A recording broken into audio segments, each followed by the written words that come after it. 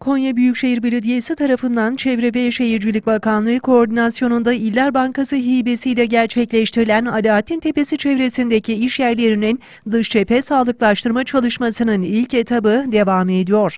Projenin ilk etabında 12 binada 60 bağımsız bölümün dış cephe düzenlemesi yapılıyor. Tarihi dokuya uygun olarak gerçekleştirilen çalışmada ikinci etap ihale sürecine girdi. İkinci etapta da 40 binanın cephesi tarihi dokuya uygun şekilde yenilenecek. Konya Büyükşehir Belediye Başkanı Uğur İbrahim Altay, buradaki çalışma şehrimizin tarihi dokusuna uygun şekilde yürütülüyor. Projeyi özellikle Konya'ya gelenlerin payidahт şehri görmeleri adına çok önemsiyoruz. Proje tamamlandığında Alaaddin Caddesi'ndeki tüm binaların Selçuklu başkenti Konya'ya yakışır hale gelmesini arzu ediyoruz. 2023'ün Konya'sının çok daha güzel olması için gece gündüz demeden gayret ediyoruz, dedi. Başkan Altay projenin hayata geçmesinde büyük katkısı bulunan Çevre ve Şehircilik Bakanı Murat Kurum'a verdiği desteklerden dolayı da teşekkür etti.